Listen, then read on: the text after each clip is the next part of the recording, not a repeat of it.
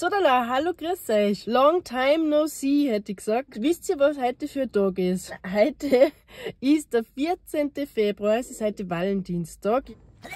Ja, ich habe mir eigentlich gedacht, dass der, das Frühjahr ein bisschen besser wird, was das Fliegen betrifft. Windig, es ist immer ein Mörderföhn und es ist immer regnerisch oder sonst irgendwas. Also man kann wirklich Jänner und Februar dieses Jahr in die Tonne klopfen, Garbage. was das Fliegen betrifft. Aber, Freunde, morgen ist ein Flugtag. Ich habe schon das Wetter studiert und wisst ihr was, morgen geht's. Und ich war jetzt so schlau und habe mir für morgen freigenommen.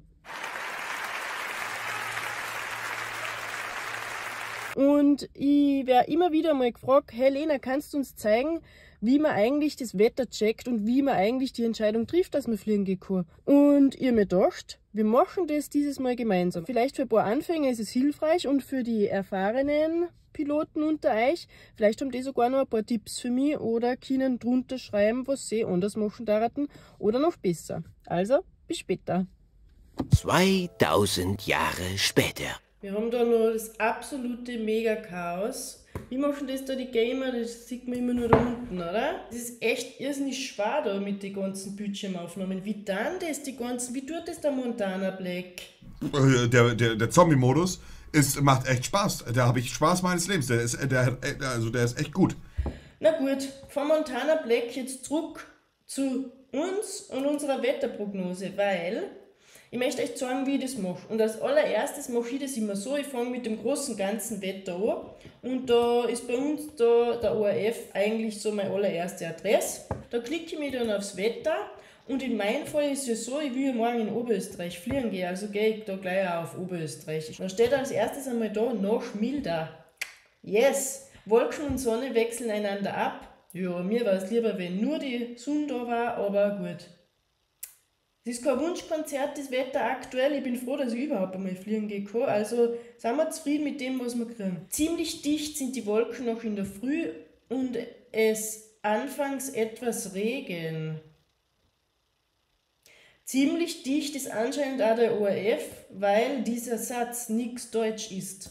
Aber egal, wir verstehen, was sie uns sagen wollen. Im Laufe des Tages werden die sonnigen Phasen länger sehr, sehr gut. Das heißt, wir müssen es auch einschmieren. Die Temperaturen liegen weiter zu und am Nachmittag hat es zwischen 11 und 15 Grad und in 1500 Meter Höhe um 8 Grad und da steht auch noch was sehr Tolles. Wenig Wind. Taugt mir wirklich. Das heißt, dass wir einen angenehmen Flug wahrscheinlich haben werden. Dann schauen wir noch das Bergwetter. Da sehen wir es noch ein bisschen genauer. Da sehen wir den Donnerstag aufgesplittet in Vormittag und Nachmittag. Und wir sehen da unten auch den Mittelwert vom Wind und auch die Böen. Und wir sehen da am Donnerstagvormittag haben wir im Mittel 17 km/h und Böen 41 km/h. Also am Vormittag ist noch ein bisschen bisschen windiger, ein bisschen, ja, ein bisschen mehr los. Aber wir sehen da am Nachmittag dann Mittel 11 km/h und Böen 22 km/h, was ja eine sehr angenehme Windsituation ist. Was man da auch noch sieht, ist, es ist gemeldet, dass der Wind aus Westen kommt am Vormittag und dann am Nachmittag schwenkt er mehr in die Südwestrichtung. Beide Tage schauen für mich jetzt auf den ersten Blick sehr gut aus. Jetzt gehen wir weiter. Wir schauen uns jetzt noch das DHV-Wetter an. Und da schauen wir uns jetzt da die Nordalpen an, was da steht. Für morgen Donnerstag Hochdruck, Inneralpin Föhnig. Wie? No, don't like that. Mit etlichen ACCI-Feldern, freundlich Inneralpin Föhnig. Da steht es auch nochmal. Der Wind Schwacher südlicher Wind, inneralpin mäßiger und föhniger Südwind. Okay, da steht es auch nochmal. Also wir haben da jetzt dreimal steht drin Föhnig, Föhnig, Föhnig. Nichtsdestotrotz ist diese Prognose weiß. Das heißt, wenn sie weiß ist, ist sie wertungslos. Aber es ist natürlich so, dass man natürlich sehr sensibel sein muss und wir müssen, wenn wir diese Schlagworte da lesen, natürlich uns wie immer das Druckdiagramm auch anschauen also, wir wollten schauen wegen dem Föhn und deswegen schaue ich da dann immer beim Druckdifferenzdiagramm natürlich. Und dann sehen wir da Österreich und in unserem Fall müssen wir da schauen, da haben wir die Achse Graz-Linz. Dann klicke ich da drauf und dann schauen wir uns das einmal an. Und da ist eben der Forecast in Blau für morgen. Und was ich da in Rot eingezeichnet seht, das ist, wie es halt tatsächlich heute der Föhn war. Also wir sehen jetzt da von 0 Uhr bis 0 Uhr den Mittwoch, also das ist heute. Da ist die blaue Linie gewesen, so ist prognostiziert worden. Und die rote, die, diese XXXXX, was da sind, diese ganz viel, so ist es dann tatsächlich gewesen. Wir sehen, dass da am Vormittag eigentlich äh, nichts zu befürchten ist. Was wir aber sehen können, ist, dass da ab 12, dass es ein bisschen mehr eben wird. Und es geht dann da ab, da jetzt 18 Uhr, sind wir bei 2,5 Hektopascal. Also um 18 Uhr, da liege ich sowieso schon da auf der Couch da hinten und tue heiße Schokolade trinken und Netflixen.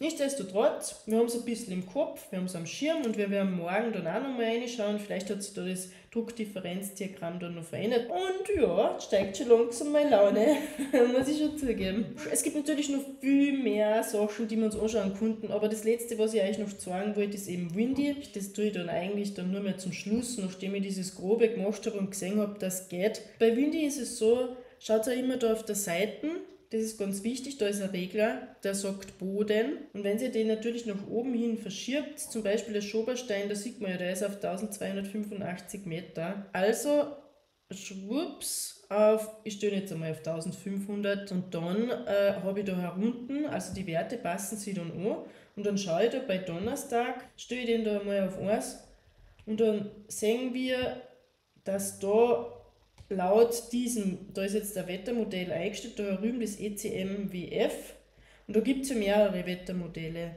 Und ich tue es dann meistens nur so, dass ich da auf Vergleichen gehe, weil dann habe ich die alle konsolidiert beieinander. Dann öffnet sich da das Große, da beim Donnerstag um 13 Uhr tue ich mir da die Maus so hin und dann ist das da eingefärbt und dann sehen wir da folgendes. Also bei dem Wettermodell ein Nordostwind, aber ganz wenig, 2 km/h nur. Bei dem Wettermodell haben wir einen Nordwind 1 km/h, da haben wir 0, also sowas habe ich ja schon lange nicht mehr gesehen, da 0 und 1, also keine Ahnung, was das soll. Und wir schauen uns da trotzdem da nochmal da, schauen wir uns das da an, zwischen 1 und 11 km/h Nord und klicke mir aufs zweite Modell, zwischen 2 und 3 km/h Nordost, aber echt fast gar nichts. Tatsächlich, wenn ich mich da durchklicke, wir haben, da sagt er mal aber Süd, aber auch kaum Wind. Also wie ihr sehen könnt, es ist ein bisschen so, sie haben alle eins gemeinsam, dass nicht es wird wenig Wind sein, aber die Richtung, mh, hm, da sagt einmal Nord, einmal Süd, das heißt halt wahrscheinlich auch, dass es tatsächlich nicht viel Wind sein wird morgen. Aber wisst ihr was? Wir werden sowieso vor Ort sein und dann werden wir die Wetterlage ja live sehen und dann werden wir entweder fluchen oder uns gefallen.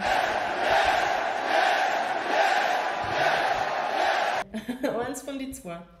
Jetzt möchte ich da aber auch noch was zeigen und das finde ich ganz cool, das ist dieses Airgram da unten. Da seht ihr da herunten, also da ganz unten, da steht Wolken und Regen. Und da seht ihr auch die Höhe, also da sind wir auf 900 Meter, da auf 2 Kilometer. Und da sehen wir eben auch so visuell dargestellt, wie das da morgen mit den Wolken so sein wird. Und da sehen wir, dass da halt auch um einiges besser ausschaut wie am Vormittag. Ich meine, was da halt noch ein bisschen ist, da steht noch ganz bisschen da 0,6, 0,2 am Vormittag in der Früh. Ich hoffe nicht, dass es ein bisschen regnet oder tröpfelt bei mir, aber am Nachmittag schaut es so gut aus. Also da, wir werden dann ungefähr, der Start ist ungefähr da in dem blauen Bereich, dass wir da auch tatsächlich kaum Wind haben. Das wird da jetzt auch nochmal angezeigt. Also das Fähnchen hat nur einen, einen Strich, das heißt fünf, fünf Knoten. Also es schaut wirklich so aus, wie wenn wir da morgen fast keinen Wind hätten.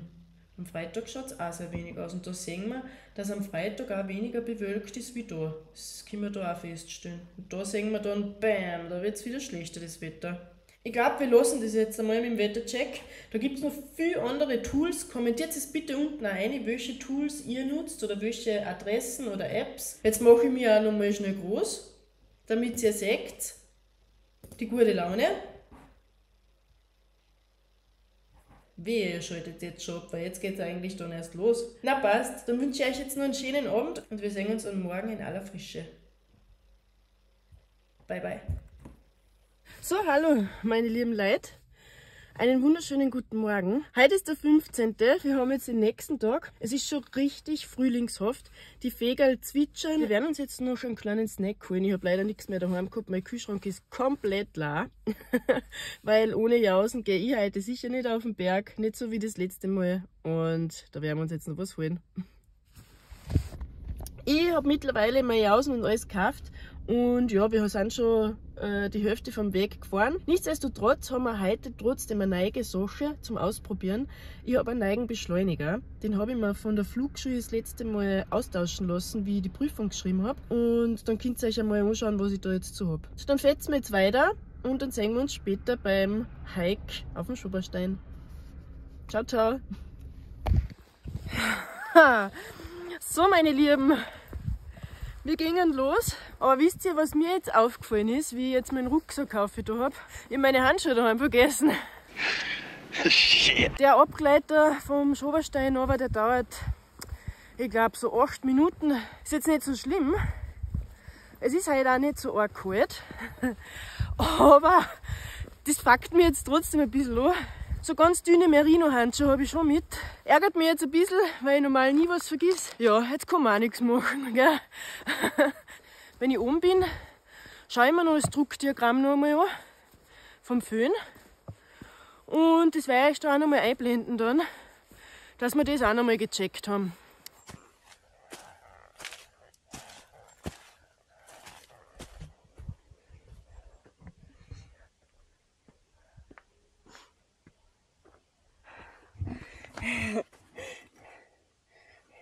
So, dann machst da wieder mal eine kurze Pause. Jetzt sind wir eine Stunde unterwegs.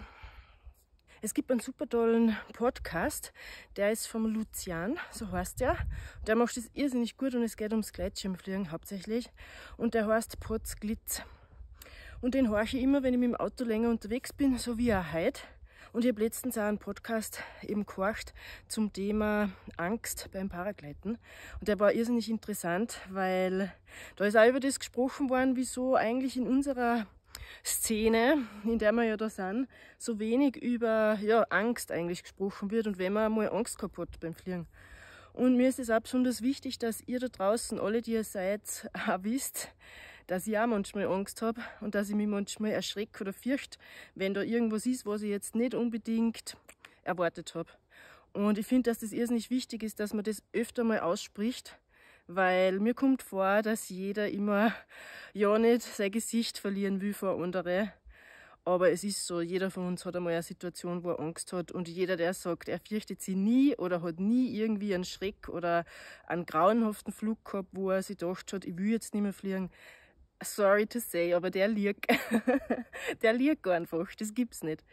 Außer, ihr seid euch jetzt ganz sicher, dann kommentiert unten eine und schreibt mir das, dass ihr euch noch nie gefürchtet habt. Aber ich glaube, da wird kein einziger drunter schreiben. Okay, jetzt bin ich, jetzt habe ich ein bisschen viel geredet.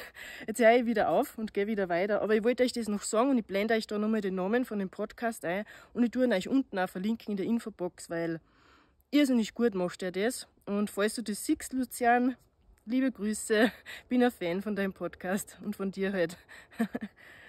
Passt, dann gehen wir jetzt weiter. Ich spüre, dass wir da ein bisschen an, dass uns da ein Wind entgegenkommt. Also das passt oben für den Startplatz. Zumindest jetzt an der Stelle spüre ich es halt, müssen wir uns halt dann oben nochmal anschauen. Da wird jetzt kein nichts Großartiges an Wind zu erwarten sein, eben genauso wie prognostiziert. Ich bin selber irgendwie zufrieden, weil wir das gestern so gut uns angeschaut haben und auch wirklich das alles so eintritt wie geschrieben, weil es ist nicht immer so. Also verlasst euch nicht zu 100% auf die Prognosen. Aber heute haben wir einen Vorführeffekt und es ist tatsächlich so. Aber ansonsten bin ich nach wie vor sehr euphorisch und ich freue mich halt echt, dass ich wieder in die Luft komme. Aber wenn es nur Abgleiter sein wird. Ach ja, übrigens, ich wäre aufgefragt. Lena, wieso gehst du immer alleine fliegen? Hast du denn keine Angst? Dazu muss ich sagen, ich nehme euch eigentlich nur mit, wenn ich allein fliegen gehe. Wenn ich mit wem anderen unterwegs bin, dann tue ich in der Regel nicht filmen, weil wenn ich mit wem unterwegs bin, dann möchte ich mit der Person ja Zeit verbringen. oh, that's cute. Das ist der Grund, wieso ihr mich meistens eben nur allein seht in die Videos. Das wollte ich euch nur mal sagen, weil das wäre ich relativ oft gefragt. Hallo, wir sind da. Glücklich oben angekommen. Schau ich da gerade auf die Windstation auf. Die schaut auch pipi fein aus. Haben wir sogar einmal einen Wind verfahren, dass es gleich gibt. Kein Rückenwind. Gut. Ich hätte gesagt, wir sitzen uns da jetzt ein bisschen noch hin, dann jausen und dann legen wir aus und werden da runterfliegen. Ach so, genau. Weil wir unsere Traditionen immer treu bleiben, zeige ich euch, was zum Essen gibt. Es gibt feines Karree mit nur 3% Fett. Ja, ich sag nur dazu, Diät läuft. Und ein Vollkorn Roggenbrot. Und da schaut mal her, was wir da jetzt haben. Das ist mein neuer Beschleuniger. Schaut, wenn ich dann da so drinnen sitze, dann steht das da hoffentlich so ein bisschen nach vorne. Und das erwische ich jetzt da besser. Und das ist ein richtiges, ja, stabiles Stabal. Und ich erhoffe mir halt jetzt, dass das ein bisschen leichter geht mit dem. Wir werden es jetzt da näher ausprobieren. Mal kurz zum Wind. Der Wind kommt, also wir, haben, wir sind ja da auf einem Hang, der nach Süden hin ausgerichtet ist. Da ist Süden. Der Wind kommt, so wie prognostiziert, aus Südwesten, also so ein bisschen. Ähm, es ist aber kaum Wind, da drüben sieht man die Fahne, jetzt ist es auch wieder, also er kommt von da drüben. Und wenn wir uns aber oben die Windstation anschauen, wenn ich mir die anschaue, dann kommt er sogar eher von da. Also die Richtung stimmt auf jeden Fall. Und es ist genauso wie prognostiziert. Es ist kaum Wind. Ihr seht da, da bewegt sich fast nichts da bei den Bäumen. Da kann man immer gut schauen. Und auch wenn ich da drüben hinschaue und da auch mir die Gräser anschaue, da bewegt sich absolut nichts. Das heißt, wir haben eigentlich einen Null-Windstart. Mittlerweile mag ich aber eigentlich das schon lieber, wenn ein bisschen Wind von vorne kommt. Bin mittlerweile auch schon ein bisschen faul. Oder ich, ich spüre schon, dass ich faul wäre und so Bedingungen gerne hätte, wo ich wenig laufen muss. Ja, so weit sind wir schon. Flug 91 und jetzt geht das schon los. Na, gratuliere. So, der Casanova da drinnen, der freut sich auch schon auf eine frische Luft. So, ich glaube, wir sind on air. Irgendwer hat letztens gesagt, ich bin ja schon wie eine fliegende Reporterin mit meinem ganzen Equipment und so weiter. Ja, fühlt sich echt ein bisschen so. Ey, was ist denn da los? Da hat es mir jetzt immer den Beschleuniger aus, weil ich da immer ankomme, da hinten, da unten. Und das ist jetzt ein bisschen elendig. Schaut, weil da, ah, da komme ich da immer an ein bisschen. Jetzt müssen wir uns anschauen, ob mich das jetzt beim Start vielleicht stört. Jeden Fall ein bisschen strange fühlt sich das unten an mit der Stange jetzt natürlich. Wahrscheinlich ist das Easiness für das dann schon wieder nicht konzipiert, dass ich da so eine Stange halt zwischen die Füße habe. Aber das schaue ich mir dann direkt beim Start an. So, schaut, das ist dann die Handschuhe heute. Richtiger Schatz. Aber ich sage einmal so, besser als nichts, oder? Hallo!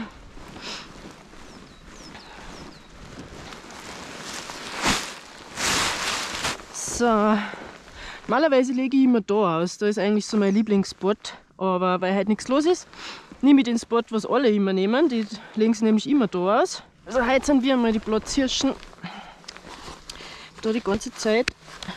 Gucken wir aber. Aber er steht zumindest vierer. Er ist jetzt prominent zwischen meinen Füßen und ich glaube, ich erwische ihn besser, aber natürlich stört er mich jetzt. Wir werden sehen. Probieren geht über Studieren, oder? So heißt der Spruch. So. Hallo Pi, ich hoffe es geht dir gut. Long time no see. ich freue mich. Es wird spitze jetzt dann. Vor allem auch, weil die Bedingungen halt super sind. Jetzt spüre ich da auch schon Lüftchen, schaut, der Pi, der bläst sich da schon ein bisschen auf. Genau, ich tue jetzt einmal sortieren und dann schalte ich euch wieder dazu, wenn wir dann bereit für den Start sind, hätte ich gesagt, oder? Weil ich glaube, die Sortiererei, das habt ihr jetzt eh schon tausendmal gesehen. Jetzt die Leinen sind sortiert. Jetzt haben wir noch unseren Schirm schön auslegen. Gut. Ich glaube, Schirm liegt gut da, Leinen sind sortiert. Die Sonne ist auch gerade heraus. Naja, dann hängen wir uns mal ein. So, so. Einmal um.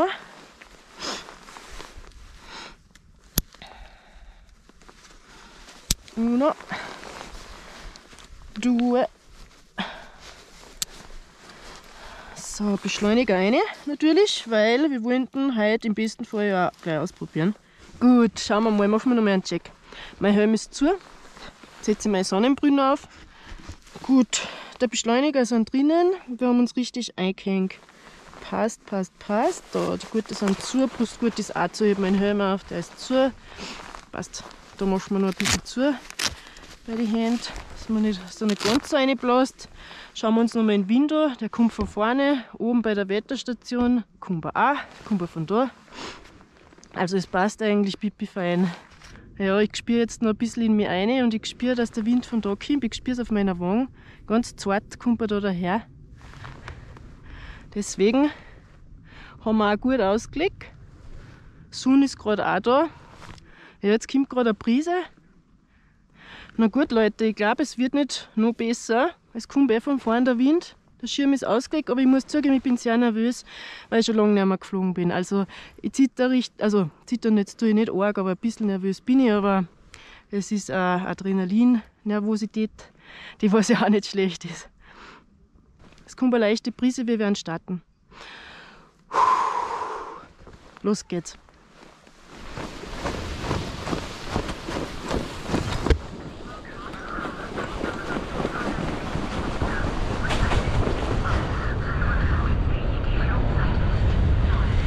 Okay, passt, wir sind hier draußen. Alles gut gegangen. Jetzt fliegen wir mal gleich um. Schauen wir mal, ob wir ein bisschen Thermik kriegen. Das war ja ein Hit. Schauen wir mal daher, da ist normal immer der Hausbord da. Aber es schaut schlecht aus. Grün kurz einrichten. Naja, da. Aha. Aha. Schauen wir mal, ob das nur so ein bisschen was ist oder ob wir da was holen können.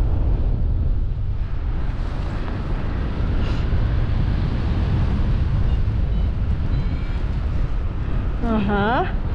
Da ist der Vogel wieder.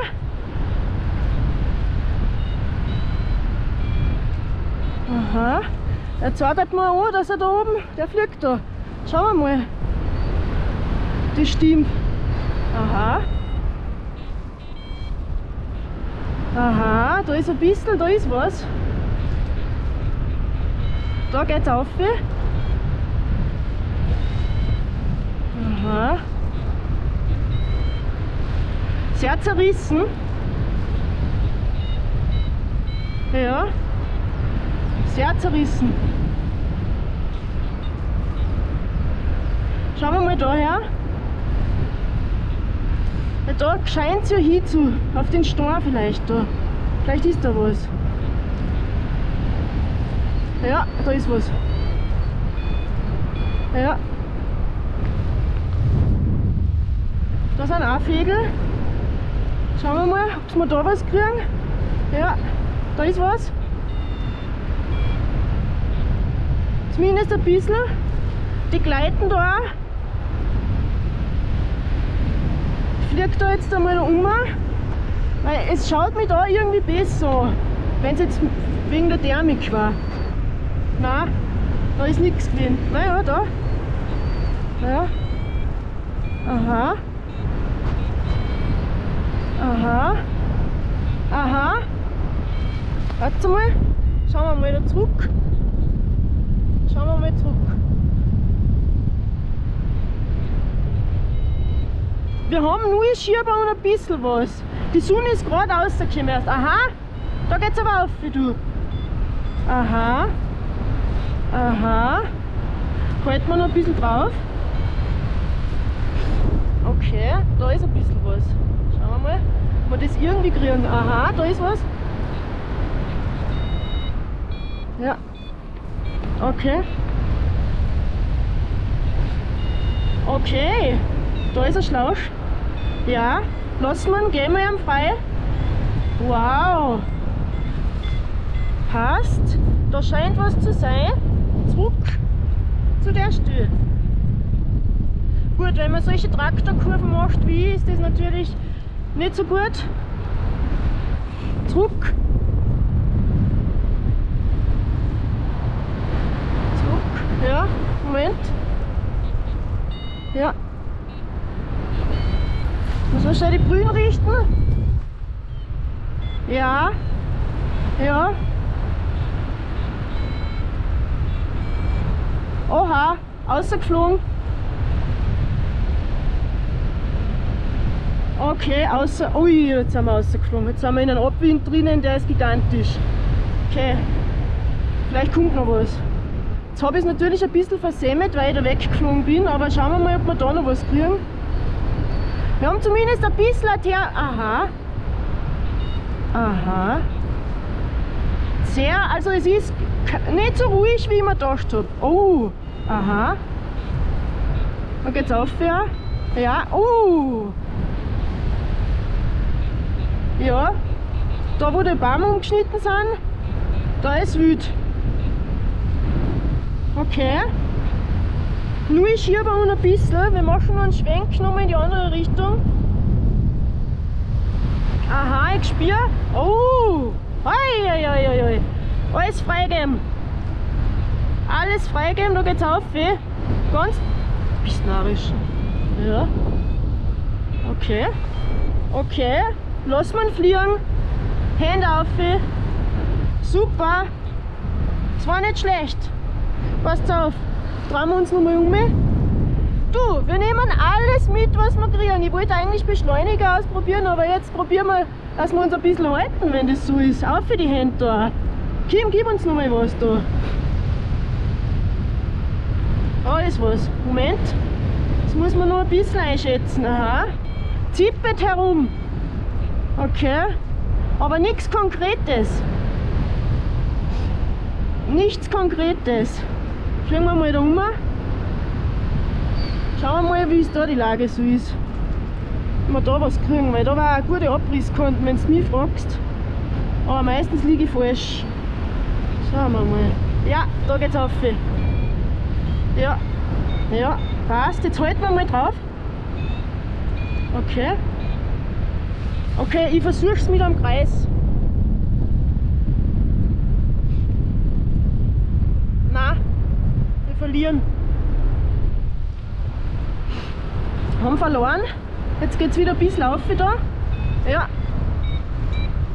Ja. Ah, sowas. Sowas Kleines da immer nur, ha?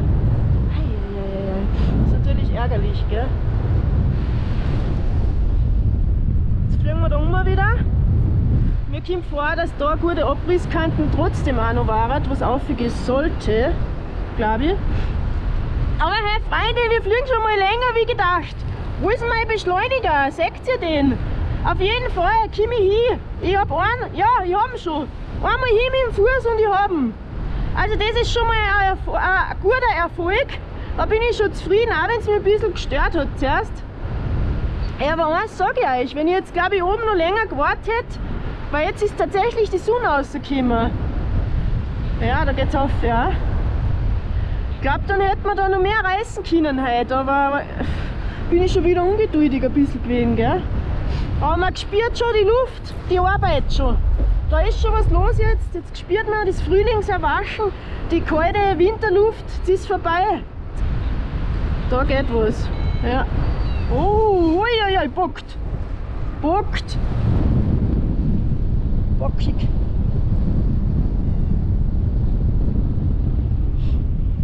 Naja, der zieht so. Was sagt unten der Wind? Sagt, naja, ein bisschen Wind von da drüben. Aha, das heißt aber halt auch, dass wir mal anders landen müssen. Das ist einmal ganz was Neues. Aber im Windsack muss man da immer ein bisschen beobachten. Der sch- kann in der Mittagszeit schnell mal umschwenken, natürlich wegen einem Bergtalwindsystem. Schaut, mein Auto steht immer noch ganz allein unten. Jetzt geht's bergab.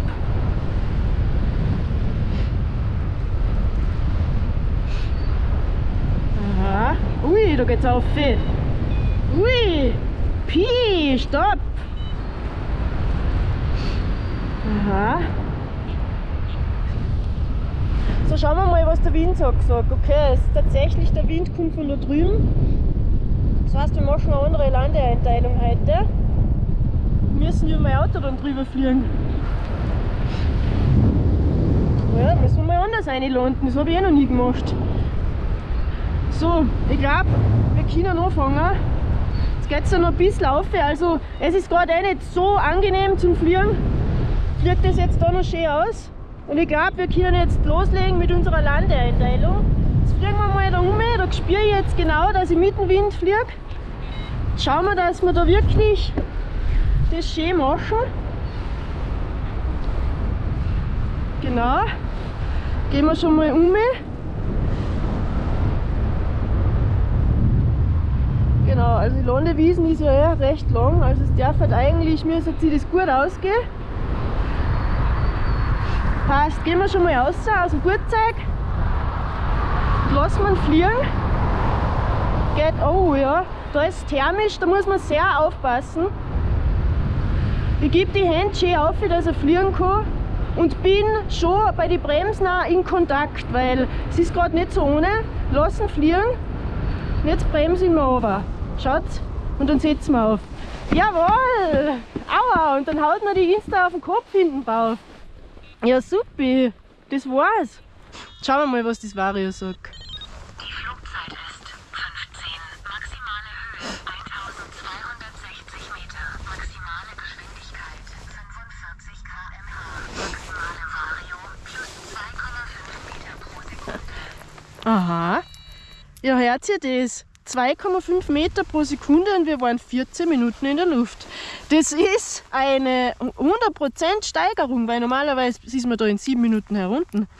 Hey, es geht schon, Freunde. Also, wenn ich, ich glaube, wenn ich noch ein bisschen gewartet hätte oder wenn man später startet, kann man da heute echt schon einen Thermikflug machen. So, meine lieben Mais, es ist vorbei. Das war Flug Nummer 91 und ich glaube, wir werden morgen dann nochmal fliegen gehen. Also bleibt auf jeden Fall dran für Flug Nummer 92. Mm, morgen, also da werde ich jetzt morgen nicht nochmal aufgehen, weil irgendwie habe ich Lust auf was anderes. Gut, ich werde jetzt wieder heimfetzen. Es war auf jeden Fall ein toller äh, Frühlingsauftakt und ich freue mich schon jetzt auf den nächsten Flug und ich freue mich jetzt dann schon, weil man wirklich merkt, dass die Thermik schon langsam losgeht. Ich bin richtig gut angefixt jetzt durch diesen Flug und ich kann es kaum mehr erwarten, die Thermik wieder zu retten. also, und bis zum nächsten Mal.